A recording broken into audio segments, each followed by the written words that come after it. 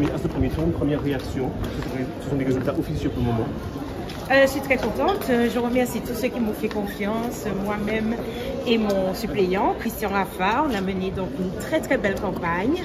Euh, on a fait état de nos projets, de nos bilans.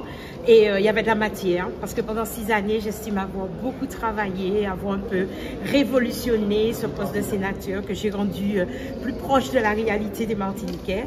Et les gens l'ont reconnu, beaucoup de, de mes électeurs l'ont reconnu et m'ont dit, bon, pas de dire nous plus, nous savons.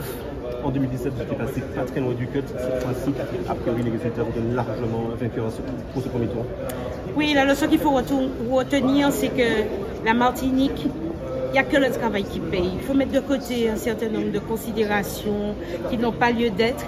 Et il faut absolument que nous m'arrivions et que nous travaillions à payer. C'est tout. Merci.